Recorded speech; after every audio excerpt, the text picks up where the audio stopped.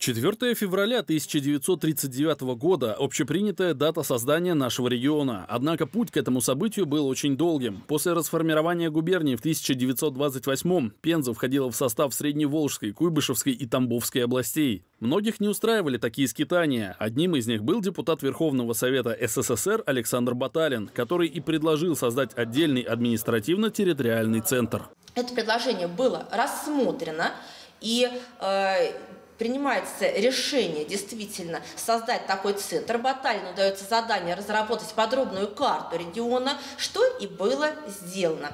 И вот мы видим указ Президиума Верховного Совета Советского Союза о разделении Тамбовской области на Тамбовскую и Пензенскую.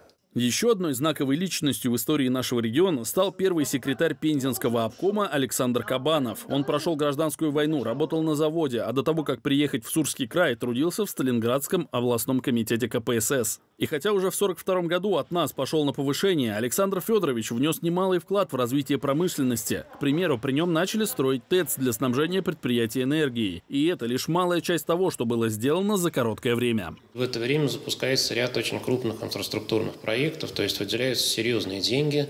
Миллион нам дают только на 1939 год на строительство водопровода, 4 миллиона на строительство канализации, порядка 2 миллионов на реконструкцию топливно-энергетической сферы и э, более полутора миллионов на создание на жилищное строительство, постройку новых домов. То есть даже такие вопросы, как, например, строительство новой бани на 50 мест, они были учтены, и Пенза получила финансирование. Время, оно неумолимо идет вперед, и одно поколение сменяет другое. Вот теперь пришло наше время.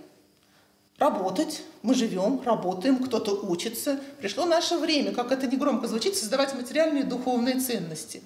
Вот помнить имена этих людей – наша обязанность, потому что благодаря их работе во многом теперь Пенза носит высокое звание города трудовой доблести.